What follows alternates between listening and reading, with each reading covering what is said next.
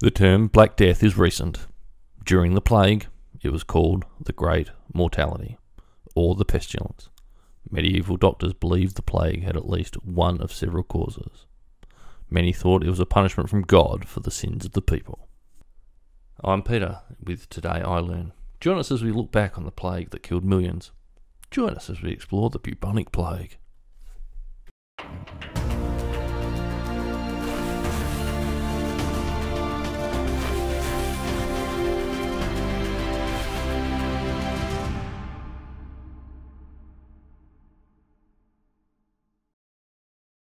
The bubonic plague, the Black Death. The origin.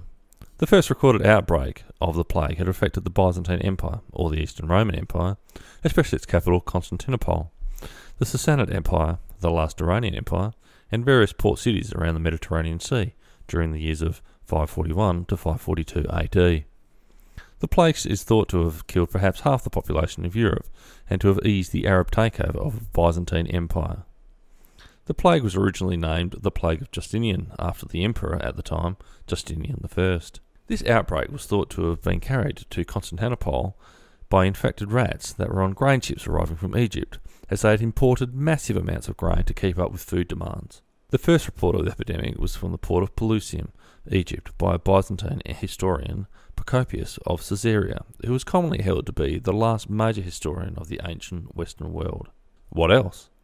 However, people may recall the second of three major outbreaks in Europe, nicknamed the Black Death. The plague was named so due to the dark patches on the skin caused by subcutaneous bleeding. This is when blood vessels rupture and blood bleeds into the skin. The Black Death began in Europe in 1347 and had wiped out approximately 75 million people between 1347 and 1351 alone. In perspective, that's the total annihilation of both the United Kingdom and Sweden's reported population in 2016. Altogether, in the 14th century, it was estimated to kill 200 million people in Europe, which is the equivalent to two thirds of the current United States population in 2016.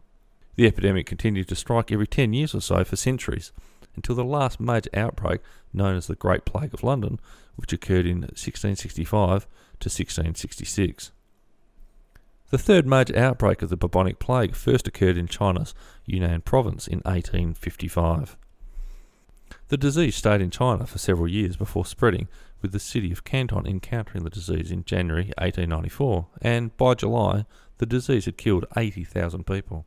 With water traffic travelling between nearby cities such as Hong Kong, the plague had spread rapidly, killing over 2,400 people within two months. From China, the plague spread rapidly, reaching the subcontinent of India in 1896. Over a period of 30 years, the outbreak would spread to the port cities of India, such as Bombay, now known as Mumbai, then travelling to major cities such as Poona, now Pune, Kolkata, and Karachi, then to smaller communities, resulting in an estimated total of 12.5 million deaths in China and India alone. The plague thrived for years, moving from country to country, going from India to Hawaii and even to Australia. Between 1900 and 1925, there were 12 major plague outbreaks in Australia, originating from shipments arriving at major port cities such as Sydney and Fremantle and spreading to most of the country. Australian Government Health Archives recorded 1906 deaths, with Sydney being hit the hardest. The whole pandemic officially was declared over in 1959 by the World Health Organization when the estimated deaths per year dropped under 200. As recent as 2013, there were about 750 documented cases, which resulted in 126 deaths. The disease is most common in Africa. The plague was used as a bacteriological weapon during the Second Sino Japanese War between China and Japan.